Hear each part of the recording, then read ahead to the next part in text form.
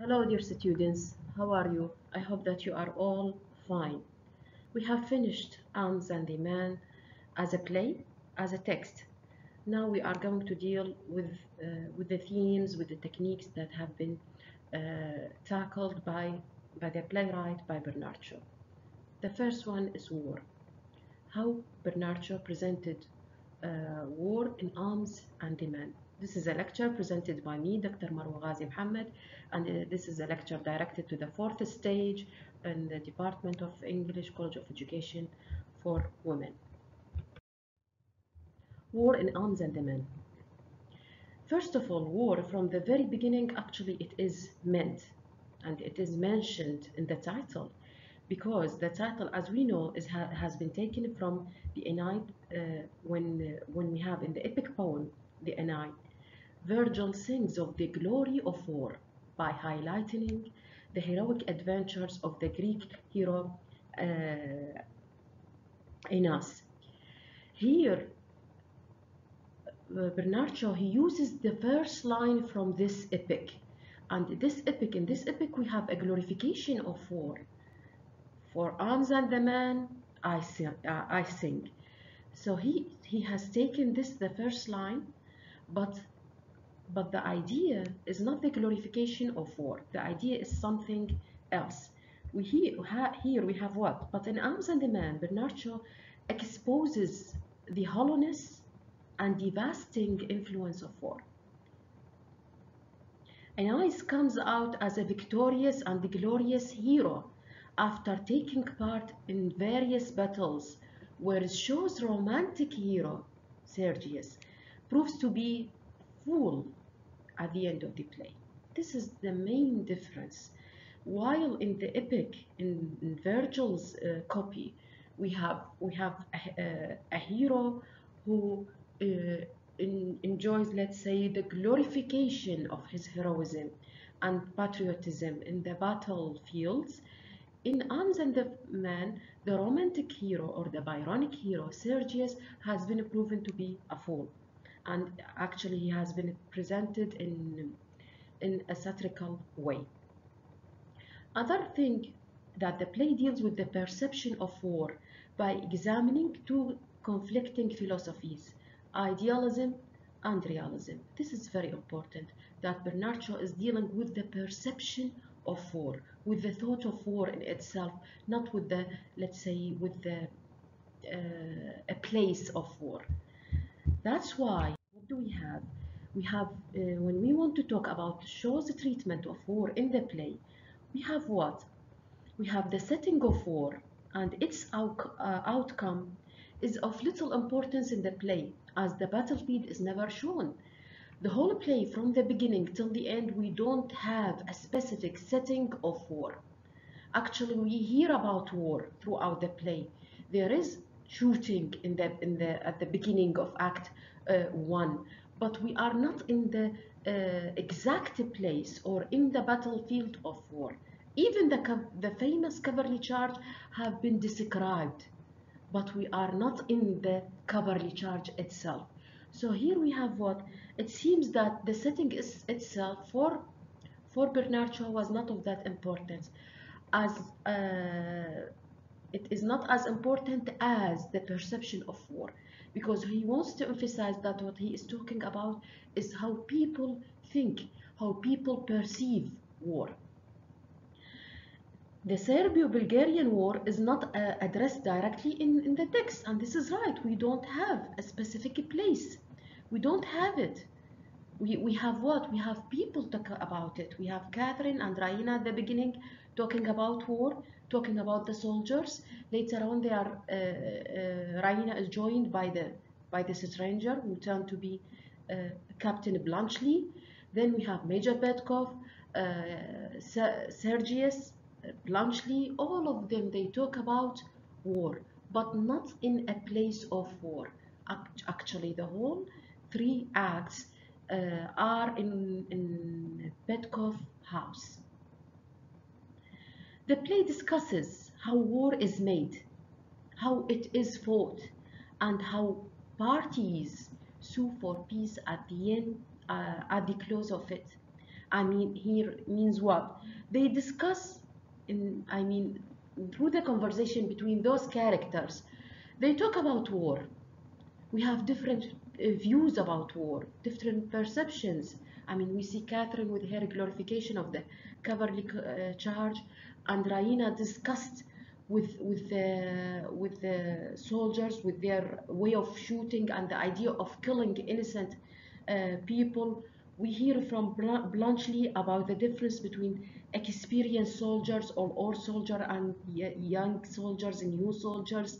And we hear from uh, Sergius who has matured the difference between being a, a noble hero or an idealistic hero and what he really found there in war.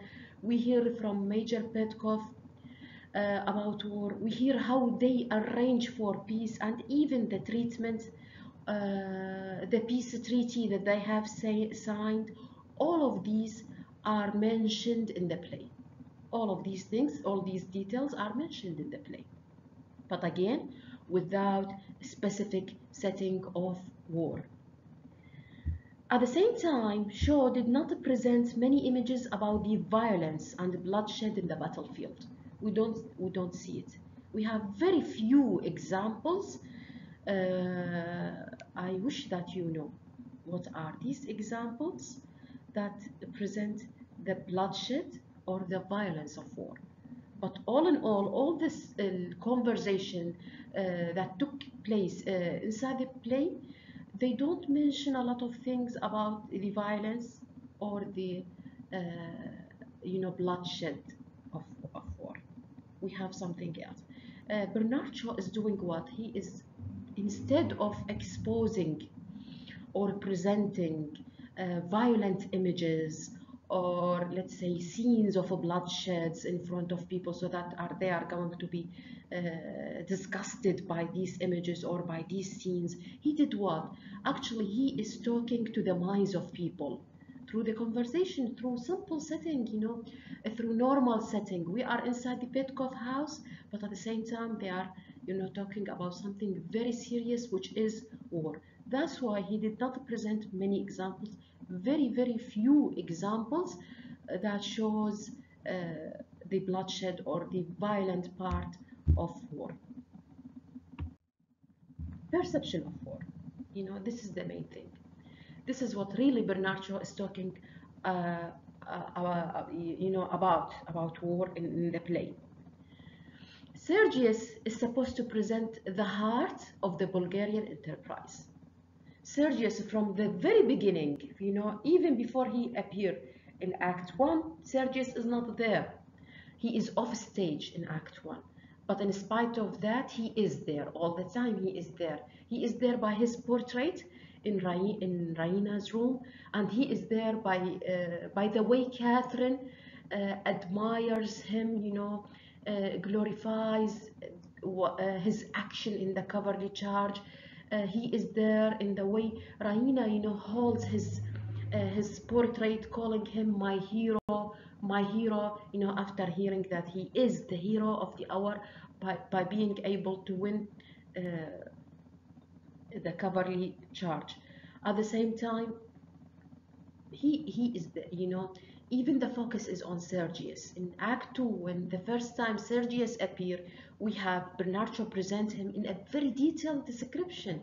A lot of detail have been uh, provided by Shaw concerning Sergius, concerning his physical appearance, concerning his uh, charisma, his personality, the way he appeared, and the most important thing that Shaw focus is the development in his character because Sergius he has been presented as the idealistic uh, hero the one who, who carries uh, all the idealism of, of, uh, of war.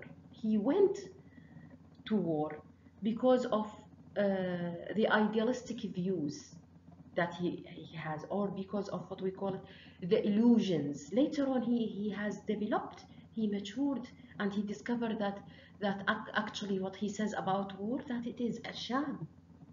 A hollow sham that it is an illusion and now he is no more illusion. Now he is disillusioned about war. At the same time we have another character in, oppose, in opposite or in contrast to uh, Sergius Bluntschli who reflects how war is simply a job for soldiers and nothing more. Bluntschli talks about war as a job. Bluntschli he is the professional soldier. He is not the hero. He's the professional soldiers who has a long experience in war, who, who realizes what's the real meaning of war and how it is important to survive, not only for him, but for everyone who is in the battlefield. The contrast in the perception of war between Sergius and Bluntschli is presented in the Cavalry Charge. You know, this is one of the things, you know, that Bernard Shaw, he draws the, the contrast between these two main characters, or let's say the protagonist and the antagonist, uh, Sergius and Bluntschli, we, we see the contrast in the cavalry charge. Uh, Sergius acted in the cavalry charge thinking as if, you know, as if he is now out of a scene of the opera or out of uh, a chapter in a novel and this is his uh, hour to prove that he is the noble hero. He is in the battlefield where he has to prove that he is a hero, where he has to prove uh, uh, all his patriotism or the chivalryhood. That's why he act, you know, he shouted and he acted without orders, taking whole responsibility, pushing the whole regiment into what Bluntschli described a certain suicide. It was, you know, it was a suicide what he did because they have uh, swords and the Serbian they have machine guns.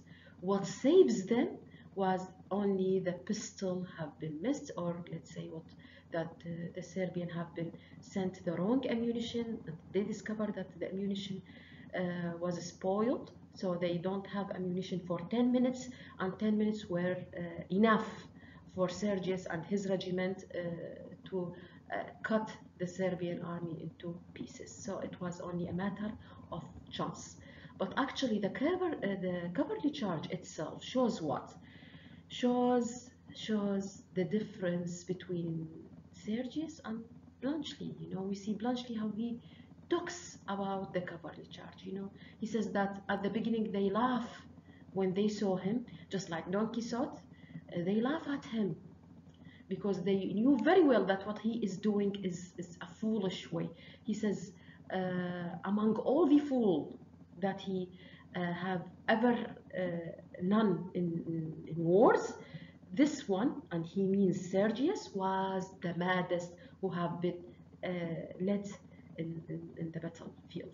While Sergius, you know, his actions, his actions in the cavalry charge uh, reflects the way he thinks of war, reflects his perception of war. That's why we have uh, the contrast in their perception is, is clearly shown is clearly shown in the cavalry charge or we can say that the cavalry charge is one of um, the things that shows the contrast between the two characters what else heroism and anti-heroism. Talking about war means we are talking about the idea of heroism and anti-heroism.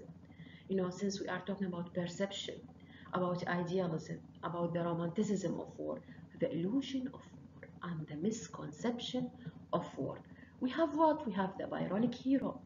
The Byronic hero, Sergius, he is the Byronic uh, hero who is in contrast with whom? With the chocolate cream soldier. Sergius, with all his perceptions of war, and these perceptions have been proven uh, as what? As illusion, as misconception, and they are far away from reality. What he thought is something totally different from being in, in a war. Sergius suits to be a hero. He suits to be a hero in his characteristic, in his charisma, in his uh, physical appearance. A hero in an opera, a hero in a novel, but not a hero in a war, because war is not a place of heroism. This is what Bernard Shaw wants to say. That's why he presented to us another image, you know, of soldiering, which is in the form of the chocolate cream soldier. A soldier who carries chocolate or who believes that chocolates are better than cartridges, who used to stuff, you know, his pockets with the sweets, just like a schoolboy, you know, this is the description of uh, Raina when she makes a fun of him. But actually what he was doing was, you know, the realistic action for someone who wants to survive, for someone who has a long experience in war and he knows how to survive. And this is the important thing. So here the chocolate cream soldier by itself, this title, shows what? Shows the image of soldier as a coward and as a sweet, as a fragile one, but at the same time show, shows an image of soldier as a realistic one who wants to live. Someone who doesn't want to die. He doesn't want to kill. And he doesn't want, of course, and most important, to be killed. The other thing we have, the contrast also, we have it. Uh, the contrast in the physical appearance between Sergius and Bluntschli reflects the difference between the appeal of idealism and the tough reality, or the tough realism. What does that mean? This means that Sergius has been described, you know, Sergius is very handsome, you know, and attractive as a man, you know. You know, he is as appealing, as attractive, as what? As imagination, as idealism. Because always the things that we imagine or we read about are appeal, appealing, and they are attractive. At the same time, reality can never be, can never be as appealing or as beautiful as idealism. Who represent reality? Bluntschli. Bluntschli, he has never been described as handsome. Or he, you know, in, let's say, in physical appearance, he cannot be compared to Sergius. He cannot be compared. Well, even in the charisma, he cannot be compared. But Bluntschli, he represents what? He stands for realism. So here, you know, Bernard Shaw used this, you know, the difference in their physical appearance actually reflects what? Reflects exactly the difference between idealism and realism. Because usually things in imagination are more beautiful, more attractive than they are in reality. Misconceptions of war. Here we have what? Here we have quotations, you know, selection of different quotations that shows the misconception of war or, or some of them shows the maturity or the development in, in the views about war, in being no more illusioned, in being disillusioned. What glory is there in killing wretched fugitives? This is Raina talking here in Act 1.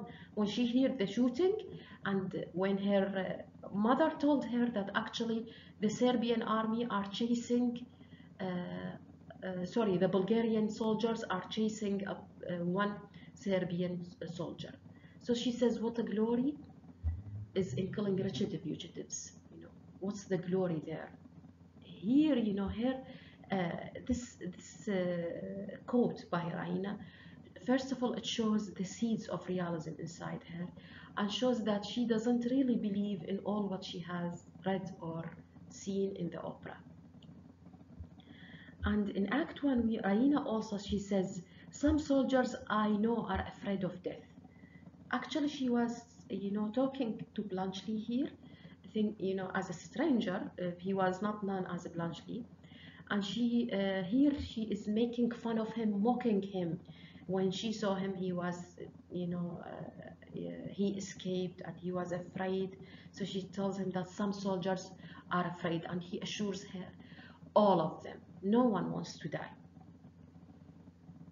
And also he draws this difference between the soldiers. He says there are only two sorts of soldiers, old ones and young ones. This is Bluntschli in Act 1 again when he was talking about the difference between you know the conception of war and misconceptions of war are exactly shown in the difference between soldiers the old one and young uh, the young ones the old ones those who have long experience in war those who carry sweets instead of uh, ammunition uh, those who want to survive are the old ones, while the young ones, those who are still wild without experience, they come with their illusion about war. And actually, the importance of food, of food in war, is one of the things that shows the conception of war or misconceptions of war. Because Raina, she was, you know, uh, totally shocked when she asked him to load his gun with pistols, and he told her that he doesn't have pistols. He used to carry uh, chocolates instead, and she was totally shocked. And he here he raises the importance of of food for uh, for the soldiers. Food is more important. You know, what's the use of having pistol uh, for a soldier who has to wait for 36 hours without a food? You know, he would be starving and he might die. And here, you know, in Act 2, we, show, we see the, the development in Sergius' uh, character, the development in his conceptions of war, in, his, in the way he starts to perceive war. When he says, I won the battle the wrong way, when our worthy Russian generals were losing it the right way. He was talking about the cavalry charge, and he knows very well that what he did, he won it, but he won it in the wrong way not in the right way. And later on, he explained, he did what he explained that soldiering is the coward's art of attacking mercilessly when you are strong and keeping out of harm's way when you are weak. Very nice description of soldiering, you know, that they, they would never fight on equal terms. This is what he says when he continue uh, defining soldiering. This quote exactly shows his maturity, shows that he is a man who is no more uh, illusioned by war. You know, this is, uh, you know, in a brief, how Bernard Shaw presented the theme of war through his character and in the play. And this is all what we have. Thanks lot for your uh, uh listening. Thanks a lot.